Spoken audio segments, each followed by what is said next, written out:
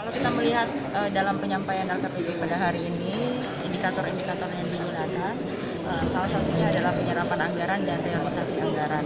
Nah, sejauh ini dari sisi pendapatan daerah yang kita target memenuhi, uh, target kita, kemudian juga dari sisi realisasi anggaran, kita lihat bahwa uh, capaian kita untuk penyerapan anggaran di atas 90% rata-rata, kecuali untuk uh, dana tanggap darurat.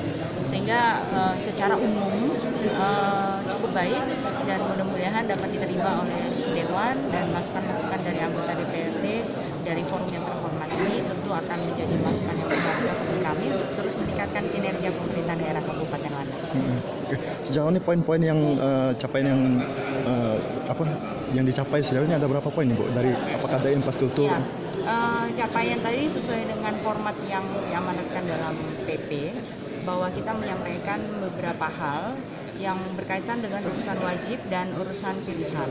Nah, urusan wajibnya tadi cukup banyak ya, tadi saya sudah bacakan satu Terkait dengan urusan pilihan, memang tidak semua urusan itu kita uh, pilih sebagai bagian dari prioritas, tapi yang menjadi prioritas adalah di bagian uh, perikanan, pertanian, kemudian juga pariwisata dan beberapa hal lain yang menjadi pilihan.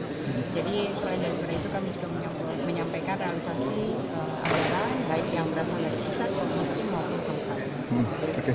Bu satu lagi Bu terkait ini topik lain Bu.